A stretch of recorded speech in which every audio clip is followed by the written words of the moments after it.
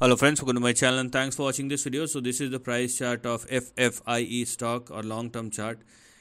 If you can find any hope, let everybody else know because I don't see anything. But let us zoom this chart and let us see what is happening right now. So this is the near term chart of FFIE stock and you can clearly see that uh, the stock is falling down or I would rather say has been falling down for quite some time and this kind of trend does not indicate any strength.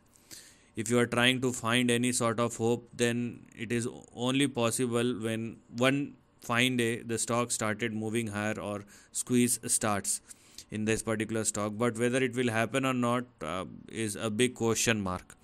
So right now the way the stock is behaving it is actually falling down. And this is the range in between which the price action is happening and the way the stock is behaving it is actually moving towards or in between its next big support which will be in between 0.027 and 0.036 now it will all depend upon how this particular stock behaves right now and most importantly when it hits the support how will it behave then?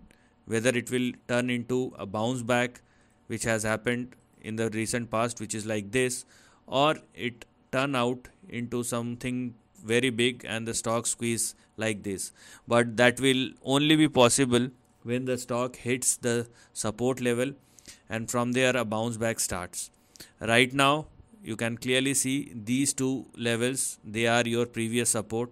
And trading below these two levels indicate that the stock has already started moving down and there are more things to come as far as the lows and rather fresh lows are concerned. So below 0.07, 0.087 and 0.077 the stock moves uh, further on the downside because this is considered as a fresh trend breakdown.